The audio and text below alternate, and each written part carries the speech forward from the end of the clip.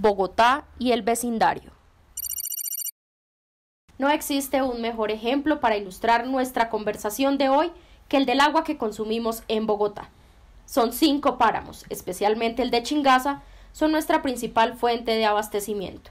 Son cinco ecosistemas que proveen el 90% del agua que se consume en la capital del país. Nunca fue fácil dotar a la ciudad de un sistema eficiente de acueducto. Pero hoy, más que nunca, dado el vertiginoso crecimiento de la urbe y su expansión por la sabana, la sobrevivencia de millones de personas depende de una gestión común de los recursos hídricos.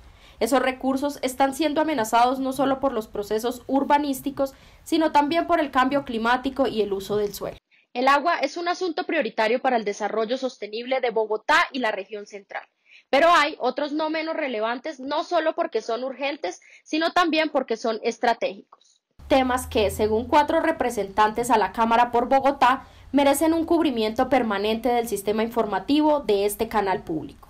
Creería que indiscutiblemente seguimiento minucioso a las grandes obras de la ciudad. Estamos hablando del metro, estamos hablando de las troncales de Transmilenio, no solamente por el impacto fiscal que representa para el distrito, sino por el impacto también público, social, económico, político, hasta cultural que eh, repercute en los ciudadanos de a pie. Bogotá tiene relaciones hasta con la cuenca del Orinoco, con los llanos orientales. La mayor cantidad de agua que se consume en Bogotá viene justamente de la cuenca del Orinoco y por eso amerita tener ese tipo de reflexión. Los bogotanos y bogotanas tal vez no conocemos eh, de dónde, de dónde eh, se, se pueden surtir los diferentes servicios que consumimos dentro de la ciudad y en eso nos compete, tenemos una responsabilidad con la región y con el país.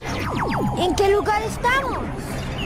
Sobre el páramo de Chingaza, una de las maravillas naturales de nuestro país que provee de agua a Bogotá y algunos municipios aledaños. Dependemos de este y de otros lugares como el páramo de Sumapaz al sur de la ciudad o al norte en la parte alta del río Bogotá. El páramo de Chingaza, ubicado en la cordillera oriental de los Andes, da origen a muchísimos ríos, quebradas y lagunas. Ellos conforman nuestro gran sistema de abastecimiento, llevando sus aguas a varios embalses que disfrutan más de 10 millones de personas de Bogotá y el centro del país. Bueno, pues a mí me gustaría que Canal Capital hablara de temas muy importantes para la ciudad, entre otros, cómo vamos a mejorar en la seguridad, cómo pensar en grande, más allá de un metro, cómo generar calidad de vida a la ciudadanía y también cómo vamos a hacer con ese corredor del río Bogotá, porque creo que debemos proyectarnos, no a 10 años, sino a 50 años para dejarle una mejor ciudad ambientalmente sostenible a las futuras generaciones. Yo creo que hay dos procesos principales que merecen seguimiento especial por parte de Canal Capital. Por un lado, el proceso de armonización de los planes de ordenamiento territorial entre Bogotá, los nueve municipios de borde y los municipios de la cuenca del río Bogotá. Ahí se está construyendo una visión regional de cómo es que vamos a articularnos, cómo es que vamos a planear conjuntamente nuestro desarrollo sostenible en esta región. Ese es un proceso, es el carril de la vida real, de lo que puede transformarle ya la vida a los ciudadanos que viven en esos territorios. El otro es el carril del Congreso, y es que inicia todo este semestre el proceso participativo para la elaboración de la ley orgánica que desarrollará el funcionamiento de la región metropolitana Bogotá-Cundinamarca. Ese es el carril político de donde se hacen las leyes, pero es muy importante hacerle seguimiento porque tenemos que garantizar que la ciudadanía exprese cómo quiere que esta región tome decisiones, eh, cómo debería hacérsele control político, cómo cada municipio debería poder decidir autónomamente si ingresa o no a la región metropolitana. Ambos procesos, el de la vida real y el carril político en el Congreso, merecen seguimiento especial de Canal Capital. Hay dos temas fundamentales sobre los cuales creo que vale la pena hacer un seguimiento de manera especial. El primero tiene que ver con nuestro talento humano en salud en la capital. Y el segundo tema, que también es muy importante, tiene que ver con la conformación de la región metropolitana de Bogotá. Esta región que se ha conformado entre Bogotá y Cundinamarca y que ahora tiene que seguir un proceso de audiencias públicas y de participación ciudadana. Creo que es muy importante que desde la ciudadanía podamos tener claridad sobre cómo va el proceso, que es un proceso definitivo e importante para nuestra región capital y para nuestra ciudad de Bogotá. Aquí hay dos ejemplos importantes y la percepción mía es que se han hecho las cosas bien. Primero, eh, la integración que se generó con los mercados campesinos, la mercatón campesina que hubo hace algunos días y que generó 18 mil mercados de productores de Bogotá región que se vendieron en la capital de la República, que la gente tuvo la oportunidad de por teléfono hacer el pedido o a través de la página de internet. Esto fue interesante porque vimos que había pedidos de Bogotá, había pedidos de Cundinamarca, había pedidos de Boyacá. Y esto fue una coordinación que terminó en Bogotá en una reunión interesante también entre el gobernador de Cundinamarca, el, gobernador de Boyacá y la señora alcaldesa mayor. Esto es importante por algo que me gusta a mí y es que cuando se integra este tema de que la gente pueda trabajar en equipo, pues es importante. Y a veces vemos que los egos y las percepciones de algunos mandatarios es yo no trabajo con él porque no es de mi partido. Resulta que aquí no. Aquí el gobernador Nicolás es de un partido, el gobernador Ramiro Barragán es de otro y la alcaldesa mayor pues claramente tiene una línea política diferente a algunos mandatarios de la Bogotá región, pero en materia de trabajo en favor de los campesinos, en favor de esos temas que son importantes, se ha dado muy bien en equipo. Y el otro está evidenciado desde el COVID cuando Cundinamarca le dijo a Bogotá, mire, le voy a aportar unas camas UCI para que usted pueda alojar pacientes que sean de Bogotá. Es la mejor ejemplificación de lo que es trabajar en equipo. Y se está viendo también y se va a ver eh, a futuro cuando exista Bogotá Metropolitana. Creo que ahí los mandatarios locales, regionales, van a aprender a trabajar en equipo. Creo que las cosas se, se hacen bien y la percepción mía es favorable frente de pronto a lo que uno veía antes, que era como el ego, como la dispersión, porque usted no es de mi partido, entonces yo no lo apoyo. Creo que Bogotá, Cundinamarca en ese caso lo están haciendo muy bien y la Bogotá región también y la RAPE es una excelente, es una excelente idea y ahora falta ver qué va a pasar con la Bogotá metropolitana que ya fue aprobada en el Congreso de la República y que está en consultas para que la gente aprenda a integrarse y ya hay municipios que quieren hacer parte de esta región metropolitana.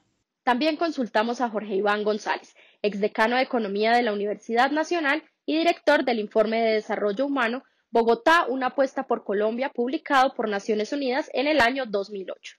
Concertar decisiones macroeconómicas con la nación. Lo primero que me parece crucial es el tema económico Bogotá representa el 27% del PIB nacional, Bogotá con Dinamarca el 31%. Entonces es muy importante que las políticas macro del gobierno nacional estén integradas con las políticas de Bogotá. Coordinar la integración con municipios. ¿Cuál va a ser el futuro? De la integración de estos municipios, qué va a pasar con Villavicencio, qué va a pasar con Ibagué, qué va a pasar con la integración de estos municipios con Tunja, vamos a seguir consolidando la sabana o no, qué vamos a hacer, cómo vamos a garantizar la sostenibilidad. Coordinar la política social con el gobierno nacional. Tiene que haber una integración entre las decisiones que se tomen a nivel nacional a través, por ejemplo, de todas las oficinas que manejan familias en acción, que manejan jóvenes en acción, todas las decisiones de prosperidad social con las decisiones del distrito. Entonces yo creo que hay muchos elementos, Carlos, en donde debería haber articulación y que desgraciadamente uno encuentra que no hay articulación. Coordinar los impuestos entre los municipios, el distrito y la nación. Por ejemplo, Francia trató de aumentar los impuestos. Inglaterra no, pues entonces las empresas de Francia se van para Inglaterra. En el caso de Ontario, en Canadá y Estados Unidos, Ontario trata de mantener impuestos altos para poder garantizar la seguridad social, pero Estados Unidos los baja. Entonces las empresas canadienses se van para Estados Unidos porque la tributación es más bajita. Entonces necesitamos que haya coordinación entre la tributación nacional y la tributación local para que apuntemos hacia lo mismo. Agilizar y profundizar las alianzas regionales. Tiene que haber un mayor diálogo entre la nación y entre las ciudades y entre los departamentos.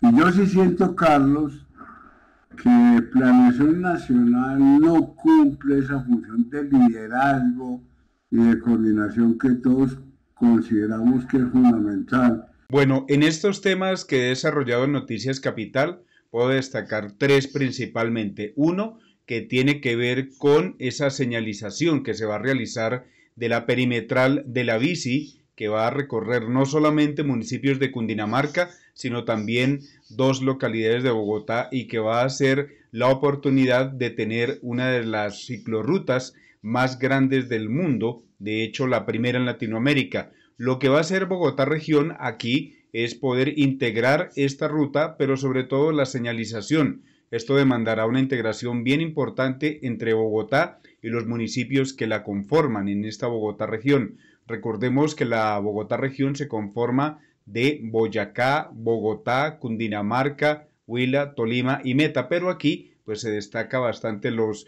municipios que quedan cerca a la capital de la República.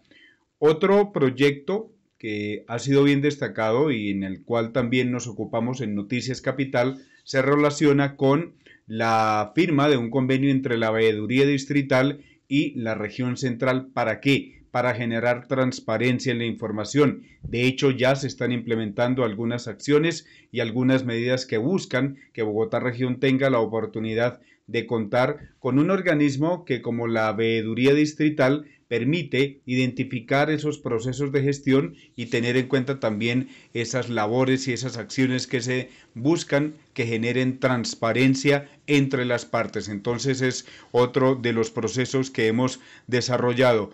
Y también hay uno que tiene que ver con el COVID-19 que es desde la casa. Y desde la casa que se está haciendo a través de Bogotá región, pues que se están eh, capacitando a los operadores turísticos de Bogotá región para que cuando se empiece a reabrir paulatinamente el turismo en los municipios que conforman esta región central, pues se pueda generar un turismo de calidad con el fin de que haya una mejor eh, y buena reactivación y sobre todo para que los municipios tengan también la oportunidad de aplicarse a esos pilotos que se vienen desarrollando en el país de turismo, que es uno de los índices y renglones que más reclaman los habitantes de esta Bogotá región. Después de la pausa, el defensor de audiencias profundizará en estos temas con el invitado especial para nuestra conversación del día de hoy.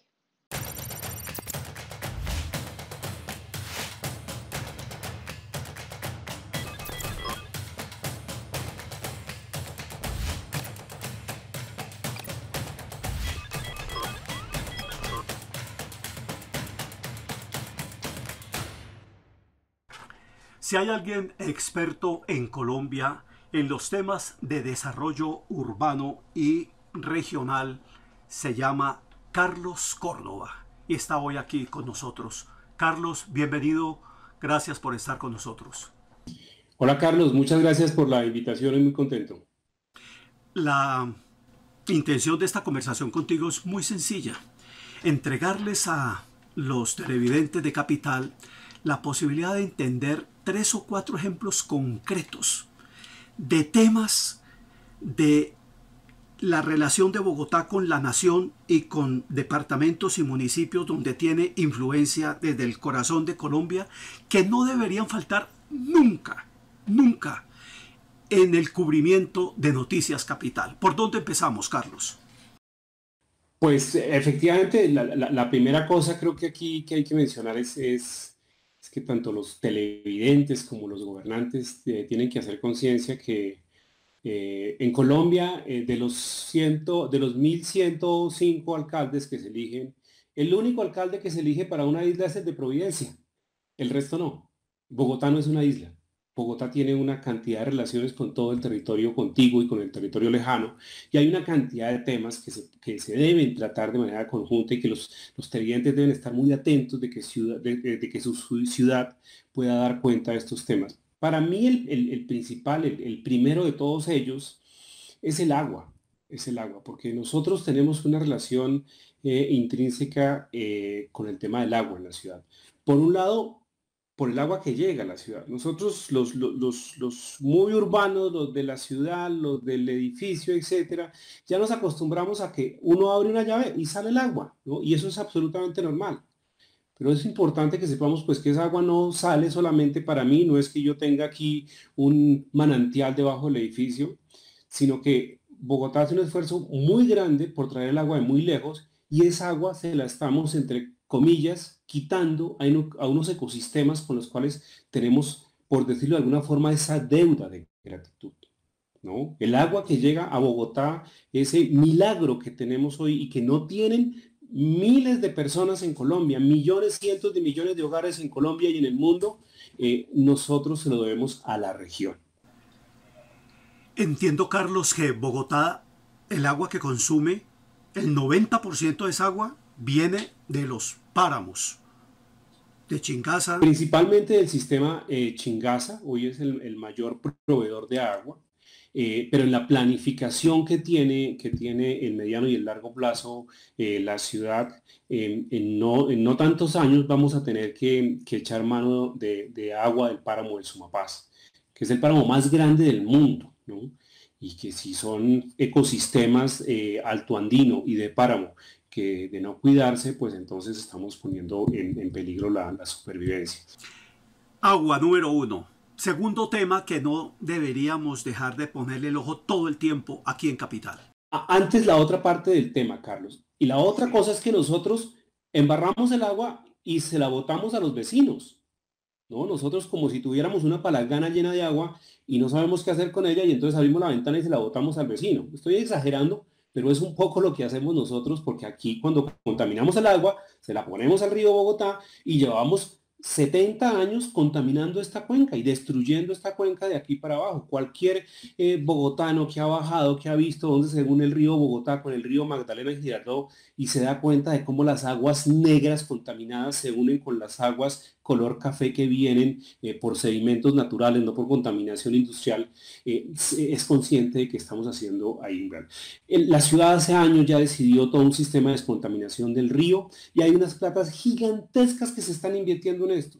La otra cosa que tenemos que mirar es, así como cuidamos que nos llegue el agua, tenemos que ser responsables con el agua que le estamos mandando a los vecinos y tenemos que estar cuidando como votamos, como televidentes, como usuarios de esto, como las personas que estamos pagando esto con nuestras tarifas de impuestos, que se haga bien la tarea de descontaminación del río Bogotá. Ese es como el primer tema. Me parece una acotación además demasiado, demasiado importante, Carlos. Segundo tema, Carlos. Segundo tema, bastante parecido, la comida la comida. Nosotros tenemos una gran ventaja, como dicen las personas del campo, una gran bendición también en esto. Eh, Bogotá eh, hoy consigue el 80% de los, de, los, productos alimenticios que consume en 80 kilómetros, eh, en 300 kilómetros a la redonda, perdón. Eso es un milagro, digamos, cuando usted ve de dónde trae la comida Nueva York, de dónde trae la comida Hong Kong, de dónde trae la comida en Lima, Pues hay unos productos que pueden traer ahí, pero unos altos porcentajes, algunas ciudades ya por encima del 70% tienen que importarla o traerla de distancias muy largas. Nosotros consumimos hoy verduras, frutas que muchas veces han sido, han sido eh, eh, cortadas la misma mañana o el día anterior la papa sacada de la tierra. Eso es una, es una bendición, no tenemos que tener todo enlatado, todo con conservas, con cosas de ese tipo. Entonces, lo mismo, cuando uno va o a la tiendita de la esquina o al almacén de, superficie grande, etcétera, eh, hay que darse cuenta que el que esas cosas estén ahí se debe a miles de familias de campesinos que todos los días madrugan en Boyacá, en Cundinamarca, en el Meta, en el Tolima, a producir esos alimentos que, que nosotros estamos consumiendo. Y entonces los derechos de los campesinos son más importantes que los derechos nuestros, porque si ellos no hacen la tarea bien, nosotros no comemos. Una acotación muy breve sobre ese tema, Carlos. Con todo esto del cambio climático, se supone que de pronto van a cambiar muchos usos del suelo, porque algunos cultivos quizá no se van a poder dar como se están dando ahora, o quizá va a haber alteraciones en la producción de agua en nuestros propios páramos. Sí, hay como dos cosas en las cuales, y por eso la, la importancia de pensar como región.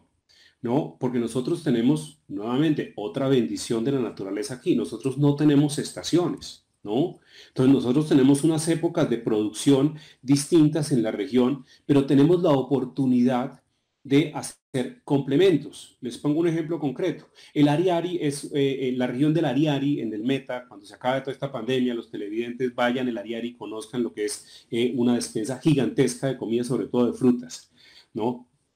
Produce 6 a 8 hasta 10 meses al año, 6 a 8 meses. Hay meses donde no puede producir por, el tema de, la, de, la, de la rotación de cultivos, etc. Pero eso que produce ahí se puede reemplazar con productos que salen de Boyacá o salen de Tolima o salen de Cundinamarca. Hoy se pueden combinar esas cosas. Entonces la primera es que necesitamos hacer una mejor planeación de la producción de toda la región. ¿no? Porque eso nos va a permitir que si nos está afectando aquí una producción, aquí hay otra, otro eh, eh, alimento, otra fruta que puede suplir esas necesidades. Y la otra es que efectivamente nosotros sí tenemos que lograr que nuestras secretarías de Agricultura de los departamentos, que el Ministerio de Agricultura, que con el apoyo de la Alcaldía de Bogotá, avancemos en lo que se denominan las agriculturas de precisión. Es decir, que ya no sea sembremos papa a ver qué pasa, ¿no? Como todavía hoy se hace en muchas partes de la región, sino que se pueda planificar de acuerdo a las épocas de lluvia, de acuerdo a las necesidades o no de riegos y drenajes, de acuerdo eh, a las distancias y que se pueda eh, eh, utilizar mucho más la ciencia y la tecnología ahora que se discute de tantas cosas. Para eso debe servir mucho el tema de ciencia y tecnología aquí en la región. Y después de una breve pausa, nuestro invitado especial conversará sobre dos asuntos muy relevantes lo que nuestro experto llama la necesidad de una cultura de región. Será en un momento.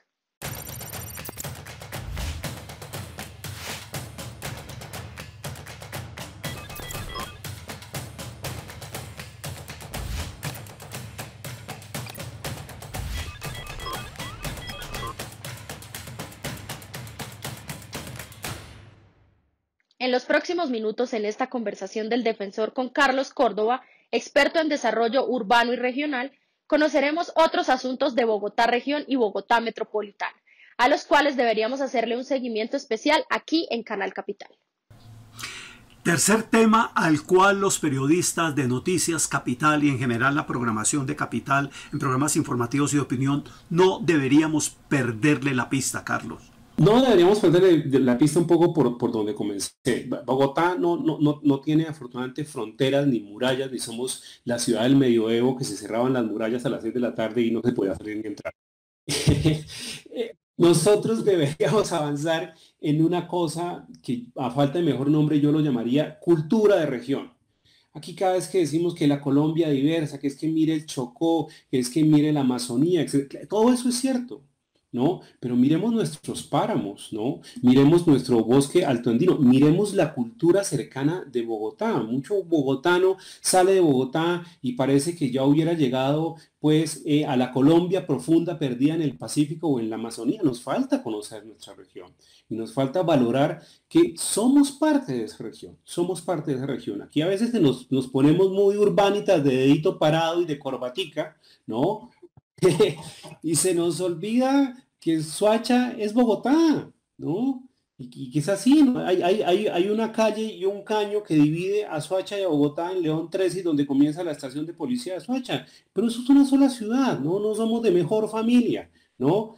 Ni somos de mejor familia que La Calera, ni, eh, ni de Quipile tampoco. Entonces el tema de, pensar más en, eh, tanto en visitar la región, en conocerla, en consumir los productos, cuando se pueda más adelante en hacer turismo, y en entender que, que, existe toda la necesidad de tener una cultura regional. Perdonen las comparaciones, los amigos paisas, los amigos eh, bayunos, los amigos costeños han logrado construir región porque no tienen esta cosa como tan odiosa que tenemos un poco los, los, los, bogotanos de hasta aquí llegamos, no. La cultura de la región central, la cultura metropolitana, la cultura de nuestros pueblos, la valoración de todo lo que está en el entorno, porque eso, gracias a eso es que nosotros estamos viendo también en esta ciudad. Carlos, finalmente, porque del tema que te voy a plantear podríamos conversar muchísimo tiempo, que es el tema institucional y el tema presupuestal y fiscal. Desde el punto de vista institucional y de cultura institucional y de cultura política, ¿estamos preparados hoy para dar ese paso de pensar que esto no es un problema de la alcaldía de Bogotá ni de la alcaldía Mosquera de Funza, la gobernación de Cundinamarca, del Tolima? ¿Hemos avanzado en eso? Hemos avanzado, hemos avanzado, nosotros avanzamos con la creación de la RAPE Región Central. Fue un ejercicio muy importante donde después de mucha discusión nos dimos cuenta que era necesario juntar los esfuerzos de cuatro gobiernos para, eh, cinco gobiernos para hacer bien la tarea y ahí hay una agenda andando en unos temas importantes, en este tema de un plan de abastecimiento, en el tema de páramos, etcétera. Eh, pero necesitamos avanzar más en el tema de la región metropolitana, que con la reforma constitucional se permite. Este es el, tema, ya que tú lo dijiste, es el tema de ñapa, ¿no? se cambió la constitución ahorita y se permite crear una región metropolitana donde Bogotá se asocia con Cundinamarca y un número de municipios que hay que determinar cuáles son los que se quieren asociar porque esto es voluntario. Entonces hay que tener eh, allí el ojo encima de, yo, yo lo, que, lo que diría es siempre preguntarnos, ¿para qué es esto? ¿No? ¿Qué puede hacer la región metropolitana mejor de lo que no puede hacerlo Bogotá sola? Hay muchos ejemplos. Movilidad. Necesitamos una autoridad regional de movilidad. ¿No? Esa cosa tan odiosa que teníamos eh, hace muy poco de que es que el Metrotran no entra a Bogotá porque tiene que... Esto es una locura, ¿no? Digamos, necesitamos trenes de integración con, todas las, con todos los municipios de la, de la sabana. Los temas de seguridad, es imposible que sigamos pensando que es que el policía no puede pasar aquí más allá porque eso ya es mosquera, ¿no? Estos, los temas de seguridad hay que pensarlos de manera metropolitana, por hablar de dos o tres temas adicionales. ¿Qué necesitamos? Tener una institucionalidad rápido y tener tareas concretas. Y yo, digamos, una cosa que me ha enseñado un poco más de 20 años en esta clase de tareas. Planear poquito y hacer mucho, ¿no? Eso dirá la gente, pero ¿cómo así? No, porque es que nosotros nos hemos acostumbrado a Colombia en que hay que hacer un plan nacional de desarrollo de 1.400 páginas, ¿no? Después hay que hacer 350 proyectos o no sé cuántos programas. Y cuando el gobernante levanta la cabeza, le faltan seis meses para acabar el gobierno y no hizo mucho. Entonces, es preferible dedicarse a poquitas cosas, planearlas rápido y hacerlas bien hechas. El que viene hará otras cosas. Entonces, es muy importante que también los televidentes se pregunten ¿Qué deberíamos, qué, en qué debería concentrarse la alcaldesa y el gobernador de Cundinamarca y los alcaldes del entorno este, en, estos días? Se van a abrir, creo, unas discusiones ahora para la ley orgánica de la región metropolitana. Qué bueno que la gente participe, qué bueno que la gente esté pendiente y diga, eh, mire, pueden hablar de 300 cosas, pero el tema del agua no me lo dejen por fuera, o el tema que le interese en general, que la gente pueda eh, aportar allí. Lo importante es que eso haga que sumemos esfuerzos, sumemos platica y tengamos resultados para la región. Y eso tiene que hacerse con la gente, ¿no? Porque esto sin la gente no funciona. Esto con tecnócratas, con sabios, por muy sabios que sean, solitos decidiendo, esto a la larga no funciona. Sí, señor, tiene, toda la razón. Eso nos no, lo ha enseñado, que el tema de, la gente, la gente tiene mucho más clara la película de, eh, de lo que los técnicos desde las oficinas a veces creemos y la gente no piensa en matrices ni en tasas internas de retorno, sino piensa en las cosas absolutamente sencillas, pero esas cosas sencillas son las cosas del día a día de los ciudadanos de la región. ¿Cómo hace para demorarse menos eh, en, un, transporte eh, que no le implique arrancar desde Soacha atravesar toda la ciudad y llegar eh, hasta Cajicá o hasta todas las zonas industriales del norte. Eso, eso ¿Por qué está pasando eso? Porque es que no hemos tenido en cuenta la gente y entonces hicimos la vivienda de interés social a un lado de la ciudad e hicimos los puestos de trabajo para esa gente al otro lado de la ciudad y los estamos condenando a estar cuatro horas en un bus. Entonces, esas son las clases de cosas que hay que recoger del sentir de la gente. La gente no le va a hablar del pasajero de la hora promedio, le va a decir, mire, es que yo, ayúdenme a resolver esto. Y es ahí donde los técnicos tienen que interpretar eso y presentar soluciones concretas. Carlos, como estoy seguro que la audiencia quedó provocada a seguir conversando este tema, porque conversarlo contigo es muy sabroso porque lo pones así en plastilina, estoy seguro que te vamos a tener que invitar en próximas ocasiones aquí en la Defensoría para que nos des más elementos de juicio de cómo deberíamos como ciudadanos y como televidentes estarle haciendo seguimiento a estos temas en la parrilla de Canal Capital. Muchísimas gracias por haber estado hoy con nosotros. Con todo gusto y aquí estamos a la orden para colaborar en las discusiones. Muchas gracias, Carlos. Si usted llega a tener preguntas, comentarios o sugerencias sobre los contenidos que está viendo en Capital, puede comunicarse con nosotros a través del correo ccapital.canalcapital.gov.co. Nos vemos el próximo viernes.